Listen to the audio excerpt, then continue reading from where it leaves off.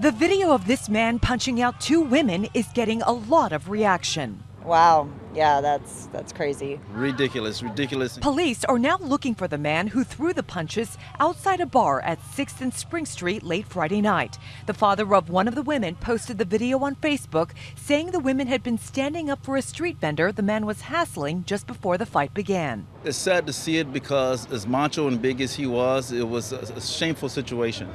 Uh, the women look helpless um, based upon what I saw in the video. You can see both women tried to get up after being punched, but the man hit them again, knocking them to the ground before he ran away. It's scary and it's sad and it's infuriating. It's two sides to every story, and those women started that. Stewart didn't want to be on camera, but he told us he saw the whole thing go down. He says it all started when the man got into a dispute with vendors about the price of a hot dog.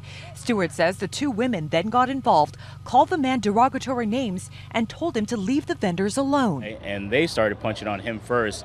And once they punched on him first, they're jumping on his back. Then he defended himself by, you know, counterpunching these women and things like that. So the video caught only the second glimpse of the story. I asked Stewart why people just stood around and watched. When that guy started running, no one thought of running after him. You know, guys don't want to get into a, a spill of, you know, fighting this guy and and and and and, and getting a, a press charge on them.